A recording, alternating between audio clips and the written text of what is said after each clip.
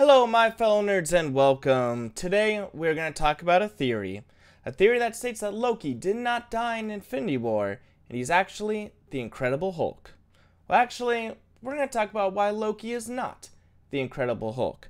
There are several spoilers for, well, several movies in the MCU. So if you care about that type of thing, please bypass this video. If not, join me as we pick this theory apart.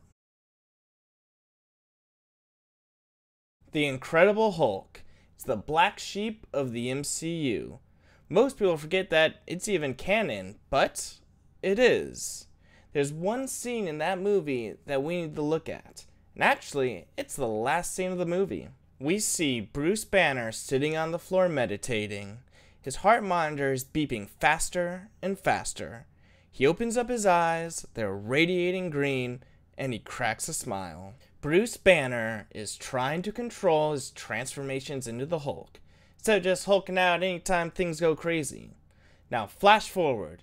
It's 2012. The Battle of New York is raging on. We watch as Bruce Banner rides his motorcycle up to the group as Iron Man baits one of the Leviathans towards the Avengers.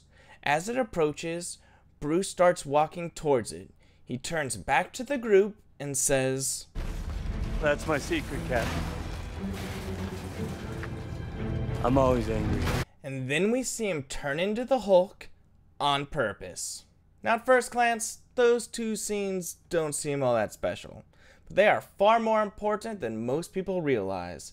This is because the theory that states that Loki is the Hulk relies on the fact that the Hulk and Banner do not share memories. I can tell you that that is the exception and not the rule. And I can prove this by using those two scenes and one line from Thor Ragnarok that most people have been overlooking. The whole thing is totally different this time. I mean, in the past, I always felt like Hulk and I each had a hand on the wheel. But this time, it's like he had the keys of the car and I was locked in the trunk. Interesting, right? For the last two years, it was like he was locked in a trunk.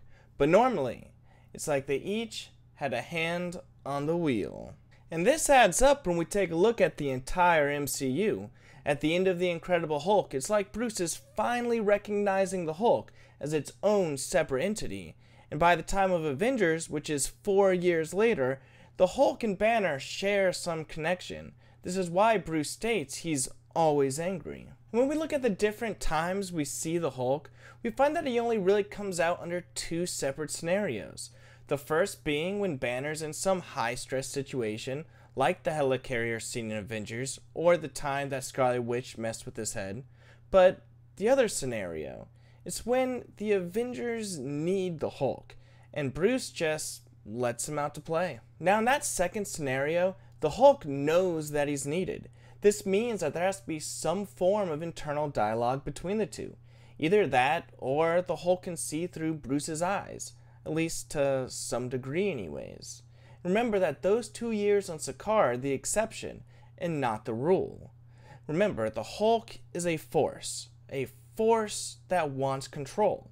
And although Bruce said it's like they each had a hand on the wheel, it's more like each of them are fighting to have both hands on the wheel. So, what we need to do is we need to take a step back and we need to take a look at Bruce's mindset before the Hulk took control. And what we see is that Bruce was talking with the Black Widow, the woman he had romantic feelings for, and he tells her that they should run away, that they should leave the Avengers so it could be just them. And what is her response? She pushes him off a ledge to trigger the Hulk. Bruce Banner was emotionally defeated, and in that moment, the Hulk took control, locking Bruce out. Under normal conditions, there has to be some capacity to share memories. So at the beginning of Infinity War, when Thanos is just wailing on the Hulk, I believe the Hulk is allowing Bruce to have access to those memories so that he could see what has just occurred. So when the Hulk is flying through the cosmos, Bruce is seeing everything that just happened. Then when Bruce lands in the Sanctum Sanctorum and states, Thanos is coming. He's coming. It makes perfect sense as to why you would have that information.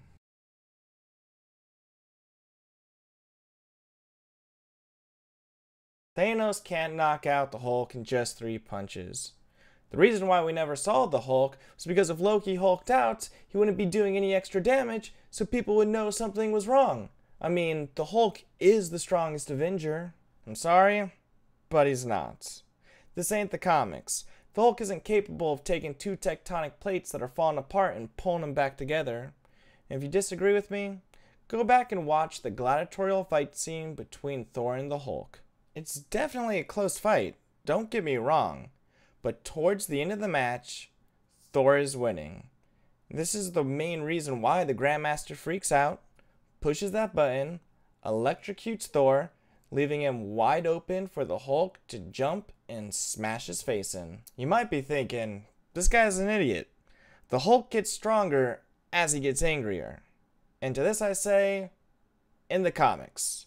And I do not think the MCU version of the Hulk shares this with his comic counterparts. So the Hulk and Thor would be of near equal power. The only main difference is Thor is far more intelligent. But Thor and the Hulk are both far stronger than Loki. So if the Hulk is really just Loki in disguise, then Thor should do massive amount of damage during that opening scene.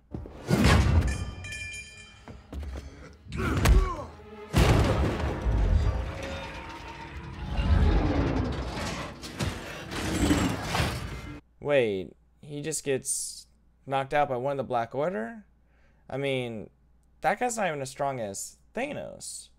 This only makes sense if the Hulk is Hulk, Thor is Thor, Loki is Loki, who is dead on the floor. In all seriousness, I feel like people are missing the point of that opening scene.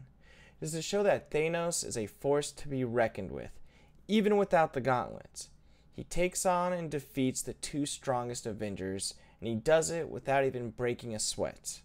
Sets the tone for the rest of the film. If it turns out that Loki truly is the Hulk in disguise, then it undermines the stakes set at the beginning of Infinity War.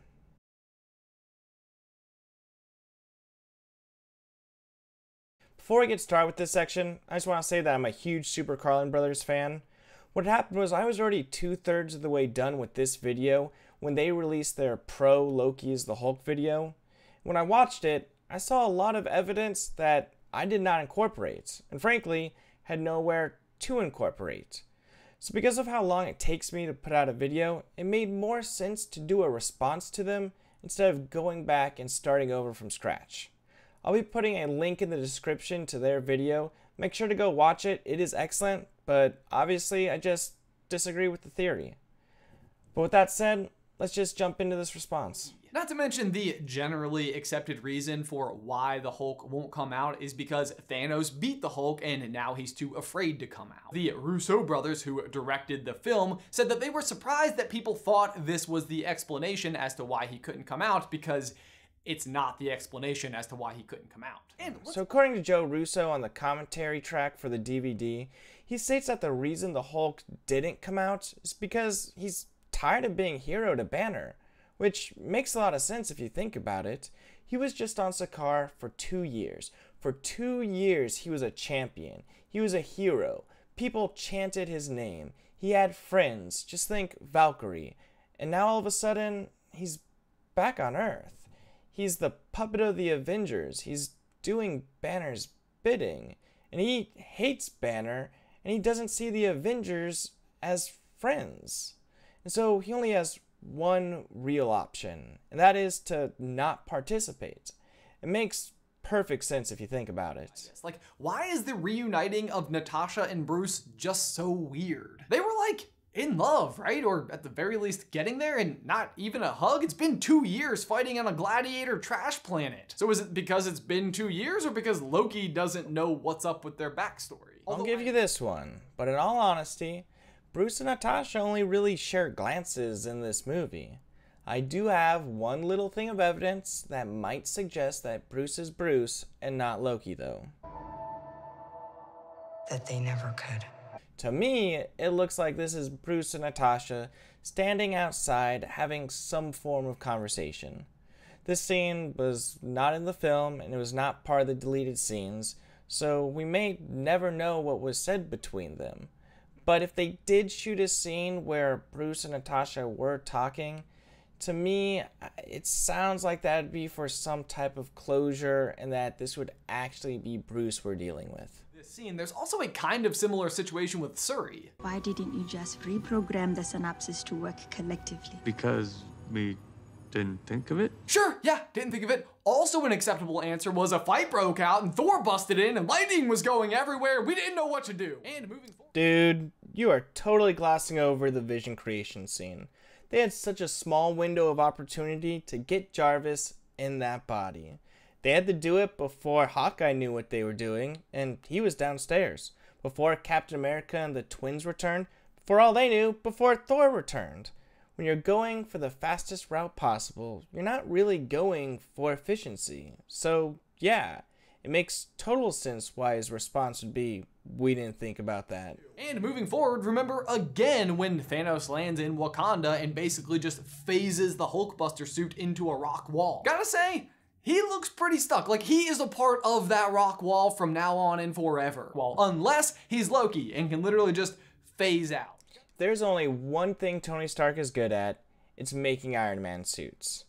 Now, the Hulk would easily be able to punch through that mountain. And if that suit can go toe to toe with the Hulk, it should easily be able to punch that mountain also. Now, I get what you're saying, it is definitely phased in there. But there's one scene I want to look at from Age of Ultron. Go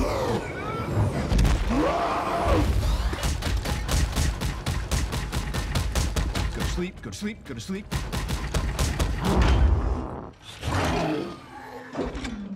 In that scene, the arm is stationary and the fist is going forwards and backwards.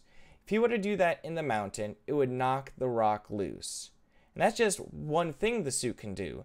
I'm sure Tony Stark put so many different things into it so it could stop the Hulk that it can easily knock itself loose from that mountain. Like, even going back to our review, I, I think the one remark I had about the entire movie was that I thought Bruce Banner was just off the whole time. I like I don't know, he just seems so stressed out through the entire movie and it seems like So yes, Bruce Banner was definitely acting off throughout the entirety of Infinity War. But let's take a look at his situation. He was basically in a coma for 2 years.